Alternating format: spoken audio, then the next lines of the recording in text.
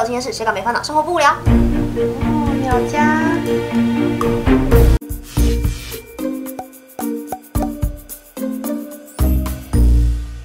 Hello，各位大家早安，我是天塌的少女十一。本周呢，除了世大运圆满落幕之外，科技圈还发生了什么有趣的大小事呢？一起看下去吧。好，那本周最大条新闻呢，当然就是依法展在德国柏林正式开展啦。那很多厂商呢，都会抢先在展前记者会发表他们的新品。那像是 Acer 啊、ASUS 都在这次的展前记者会发表了他们搭载第八代 Intel 处理器的笔电哦。那像是 Samsung 的话呢，除了他们上周在台湾上市的 Note 8之外，这次呢主要是发表了他们最新的穿戴装置。那除此之外呢，也有很多厂商带来了新的智慧家居产品哦。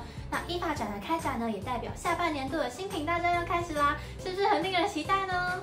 纽约警局呢，在之前陆续购入了三点六万只 Windows Phone 作为警察公务机哦。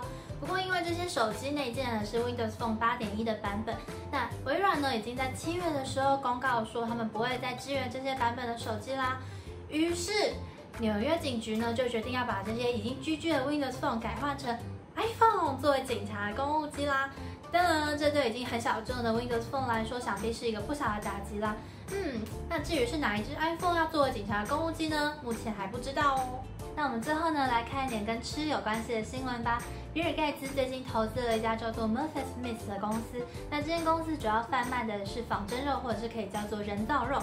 那这些肉类呢，是透过动物的基因培育而成，也就是说你不用杀生就可以吃到像是鸡炸鸡啊，或是牛排之类的肉。那这样做有一个好处，就是可以降低一些温室气体的排放。那有些人说这些肉类吃起来还不错吃，但是我个人是完全不是很想尝试。